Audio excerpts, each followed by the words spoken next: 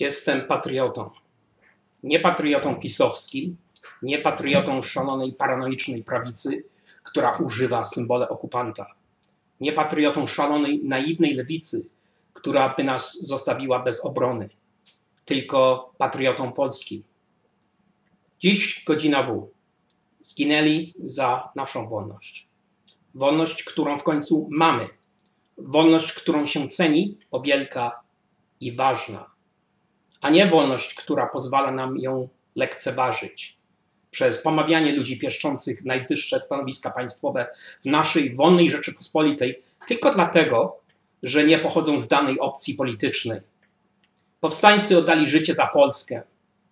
Nie za Polskę pisowską, czy Polskę narodową, czy Polskę dyktatorską, ani Polskę socjalistyczną, tylko za Polskę nas wszystkich.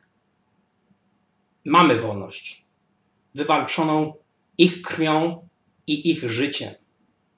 Ich oddana krew i oddane życie są ponad ceną.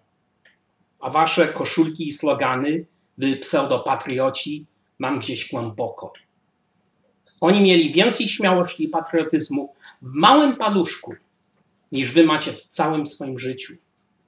Dziś nie czas na was, pseudopatrioci. Dziś czas na cenienie tego, co oni nam dali. Cześć powstańcom. Chwała powstańcom. Wieczny odpoczynek powstańcom. Cześć ich pamięci.